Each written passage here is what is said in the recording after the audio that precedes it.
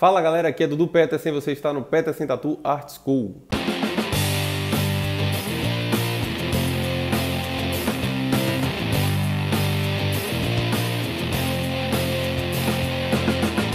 Então galera, hoje eu vou dar um tutorial de como desenhar esse olho aqui realista, tá? Se você caiu de paraquedas aqui por um acaso no, no canal, esse é um canal de tatuagem, tá? Mas hoje a gente vai falar de desenho porque é extremamente importante o tatuador saber fazer na, no papel o que ele vai fazer na pele, tá? Mas se você por um acaso é um iniciante no desenho ou, ou um curioso no desenho ou um tatuador, obviamente, isso vai servir para os dois casos, tá? Espero que vocês gostem. Então, galera, primeiramente a gente faz uma linha curva em cima. A gente faz uma linha curva em cima. Depois outra linha curva embaixo Lembrando que é importante você ter a referência, né? Você ter a referência do olho que você vai desenhar. Aqui eu estou acompanhando uma referência, olhando para a referência e desenhando. Então a gente faz uma curva em cima, outra embaixo e já coloca o espaço ali dessa parte interna que a gente tem do, do olho sobrando ali. E não, na parte interna não une um com o outro, né? Tem essa partezinha que a gente tem aqui interna do olho. Depois, logo em seguida, a gente já faz a íris do olho, esboça a íris do olho. A íris do olho geralmente é uma, é uma esfera, né? Uma, uma... Imagine um círculo perfeito. Mas nesse caso, como a pálpebra está em cima, então não aparece esse círculo todo. Vai aparecer uma parte dele, mas na hora de esboçar a gente faz um, como se fosse um círculo perfeito. Depois a gente faz a pupila, que seria outro círculo dentro desse círculo, no, exatamente no centro do outro círculo, só que menor. É a pupila. Eu já reservei o espaço que vai ficar os brilhos, a parte da, da íris ali. Tudo bem ainda rudimentar, né? Depois a gente faz essa linha em cima, que é essa dobrinha que a gente tem na nossa pálpebra em cima. Depois começamos a sombrear. Eu começo, eu geralmente prefiro começar pelas partes escuras. Então eu já comecei aí pela pupila, com lápis 6B eu já faço a pupila. E aí passo o esfuminho na, na, nas extremidades da pupila para não ficar uma coisa é, muito marcada, né? aquele traço marcadão. Como é, se trata de um desenho realista, então o contorno não fica muito definido, não pode ser muito definido, porque não existe contorno né? Num desenho realista.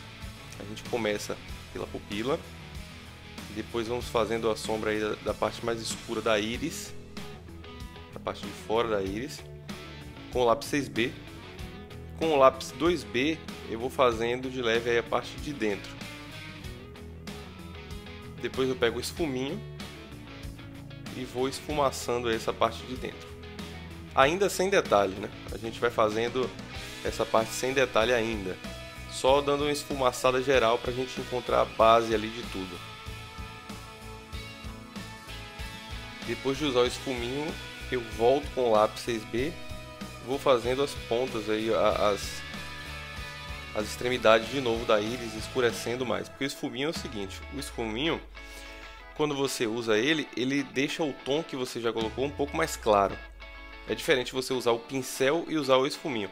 Eu costumo usar o esfuminho para as partes que eu quero esfumaçar e o pincel com, com as cerdas sintéticas eu uso para espalhar mais o, o, grafite no papel. No caso, o, o, pincel ele espalha o grafite, porém você não perde muito o tom. O esfuminho ele deixa mais esfumaçado do que o pincel, porém você o tom fica mais claro, um pouco mais claro. Então a gente vai sempre fazendo esse trabalho de esfumaçar e retocar mais até encontrar o tom que a gente quer ali ideal. Depois eu venho fazendo essa parte interna do nosso olho, marcando já os lugares que vão ser as sombras, com lápis 2B. Esse é um desenho mais... Nesse caso aí, a gente está fazendo uma sombra mais genérica, assim, a gente está achando as formas ainda, sem muito detalhe. Até esse momento aqui, sem muito detalhe. Agora com o lápis HB, eu venho fazendo essa parte branca do olho, já venho marcando a sombra dela também, com um lápis mais claro. A nossa parte branca do olho também tem sombra, né? Tem sombra no olho inteiro. Então a gente tem que sombrear todos esses lugares. Depois eu venho com um pedaço de papel higiênico macio, é o ideal que seja um papel higiênico macio. Eu meio que embolo ele com, com a mão e uso ele para fazer esse esfumaçado numa área maior. Ele fica mais esfumaçado do que o meu esfuminho aqui, o esfuminho que eu estou usando. O tamanho desse esfuminho é menor. Novamente, depois de fazer a sombra, eu venho com o lápis HB, retocando as partes aí que eu acho que deveria ser mais escuro. Sempre assim, sempre esfumaçando. Se você achar que o tom deveria ser mais escuro ou mais claro, você vai ajustando sempre para que o desenho fique legal. Novamente eu pego o papel higiênico e passo para dar uma esfumaçada, deixar mais uniforme. Agora com o lápis 6B eu venho fazendo os cílios. Eu vou puxando de dentro para fora a parte mais grossa no início, né? E mais fina no fim.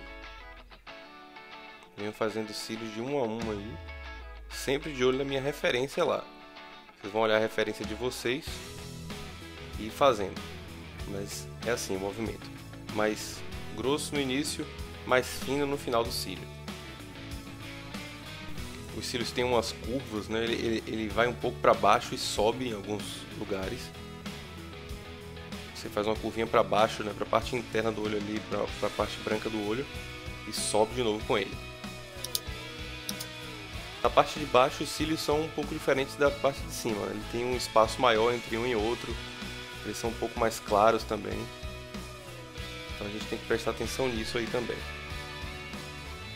Agora eu pego o lápis e vou definindo mais essa sombra interna aí do olho.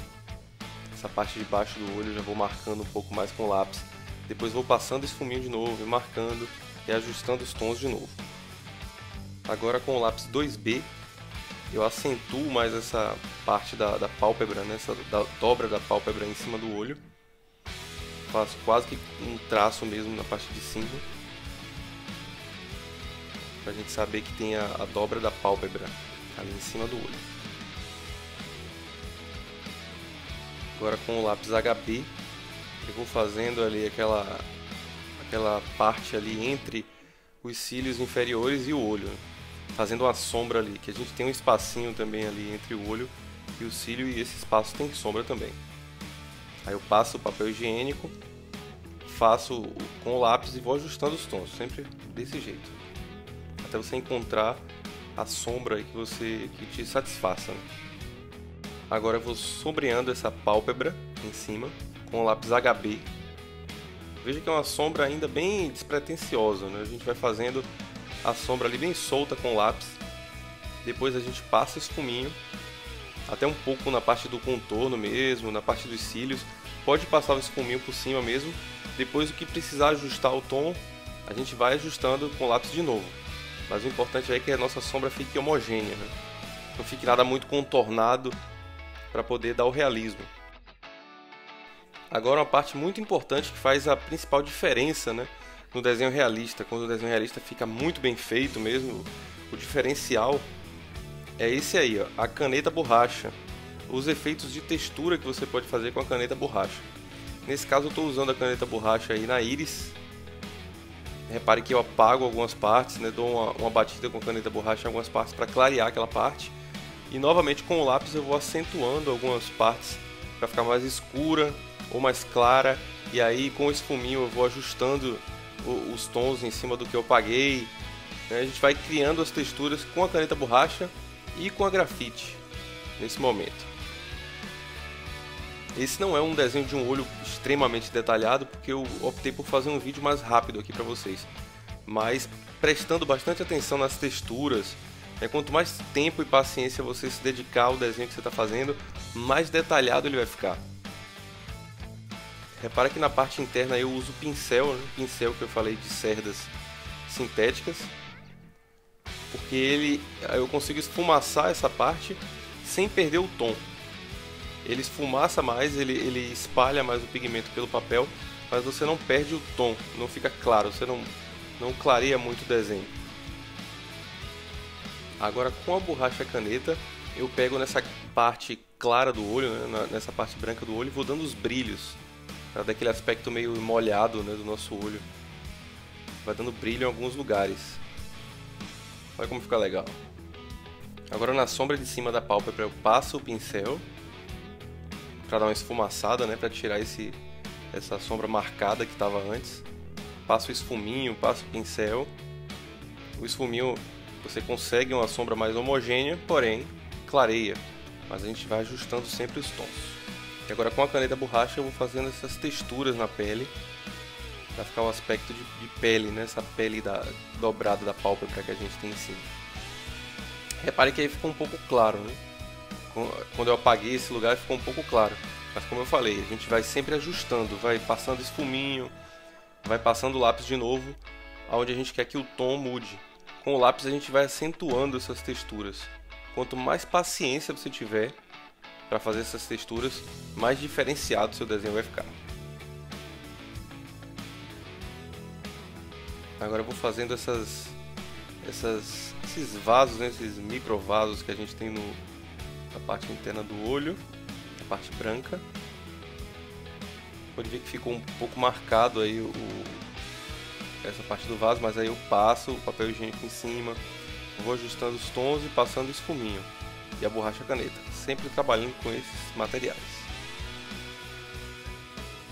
Depois com a borracha caneta na parte de baixo da pele ali, isso foi mais para demonstrar aí como é que como é que seria se a gente continuasse o rosto todo. Né? Aí eu fiz um, uma textura embaixo com a borracha caneta, simulando a pele, e com a grafite eu venho acentuando algumas partes. E se você gostou desse conteúdo, deixa o like, segue a gente aqui que a gente vai estar sempre trazendo conteúdo de qualidade para vocês, tá? E aqui na descrição da gente, hoje, na descrição desse vídeo, tem um desafio aí que vai contribuir muito para sua evolução aí, caso você queira, tá? Dá uma olhadinha aqui embaixo e participa do desafio. Valeu, gente, até a próxima. Valeu!